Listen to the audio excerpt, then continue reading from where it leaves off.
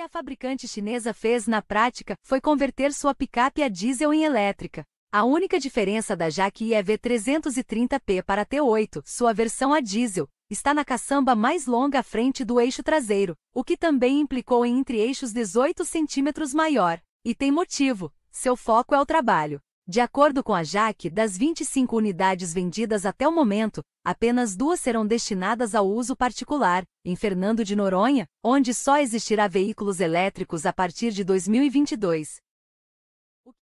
O painel até recebeu faixa de material macio ao toque, além de câmbio joystick e quadro de instrumentos digital, mas a central multimídia não se comunica com o sistema elétrico do carro. O próprio quadro digital não é personalizável e exibe poucas informações além da rotação do motor, consumo instantâneo e médio, e a autonomia estimada não está entre elas. O motor elétrico é conectado diretamente ao eixo traseiro e gera 150 cavalos e 33,7 kg força-metro, mas não é fácil usar toda essa força.